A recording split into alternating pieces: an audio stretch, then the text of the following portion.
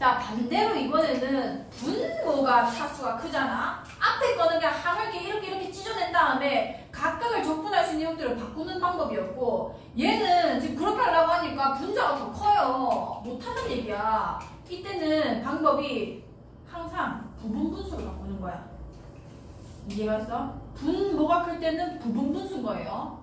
분모가 클 때 뭐라고? 부분 분수야. 분모가 클 때는 부분 분수예요. 부분 분수. 듣고 있지? 그럼 부분 분수가 되려면 일단 분모 자체가 인수분해가 돼야 돼. 자, 저 인수분해 봅시다. 여기 인수분해하면 뭐죠? x 아 x 플러스 어, 2 마이너스 1 이거 할 수 있죠? 자, 그러면은 저기 지금 x 플러스 2, x 마이너스 1은 1차식에 곱이 있고 이렇게 돼 있다는 건데 부분분수는 이렇게 찍겠다는 얘기잖아. 맞아? 자 일단 여기서 이거 빼면 몇인데요? 여기서 이거 빼면 자 근데 그렇게 하려고 하니까 분자가 지금 숫자야 아니야? 아니 숫자가 아니죠? 그럼 숫자가 아닐 때는 일단 찍어보는 거야. 이 일단 요거만 치울게요. 일단 찍고 생각하는 거예요. 이 위에는 뭐만 올라갈 수 있냐면 숫자만 올라가야 돼. 그래야 내가 적분이 되니까.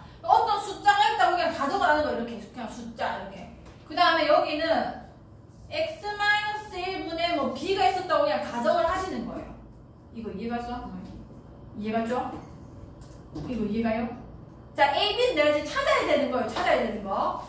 자, 얘가 통분된 결과가 있는 거잖아. 이해가 나? 얘가 통분되면 이렇게 나와야 되는 거잖아요. 그 말은 무슨 얘기냐면 얘를 통분하게 되면 x 플러스 2, x 마이너스 1이 됐을 거고 요 숫자에 의해서 ax 마이너스 1가 됐겠죠? 요 숫자에 의해서 bx 플러스 2가 됐겠죠? 2b. 맞아, 맞아? 맞아요, 맞아요? 이 아이가 이 아이랑 똑같아야 되는 거잖아. 이해가 나? 그럼 a 플러스 b가 뭐가 나와야 돼? 1 그치. 그 다음 마이너스 a 플러스 2b는요? 여기에서 이 숫자랑 이 숫자를 찾아내는 건 거야. 이거는 하나 보면 은 조금 빨리 돼요. 아, 이거, 이거 되니까 이게 몇이고, 이게 몇이고. 자, 그럼 일단 지금은 연립해 볼게요. 자, 더하시면은 뭐예요? 3 그러니까 b가 몇인 거죠? 이게 2인 거야, 2. 이렇게 찾으시면 돼요. 그 다음 여기 이 집어넣으면 a는 뭔 거야? 마이너스 1 응, 이렇게 찾는 거야. 이렇게 찾으면 부분분수 완성이 된 거죠? 이해가요? 갔어? 그럼 뭐야? 인테그랄 이거 해달라는 거잖아. 그럼 얘는 뭔데? 마이너스 Ln 절대값 그렇지 그렇지. 그 다음 얘는요? 2 2Ln 절대값 짧고 자, 자 요렇게 돼 있는데 이거를 지금 둘 다 LN에 대해서만 나오잖아요. 뭐 밑이 다른 게 아니라 그래서 웬만한 모범 답안들은 이걸 다 합쳐놓은 게 답이거든요. 지금 빼기고 얘는 2를 여기다 올려도 상관없죠.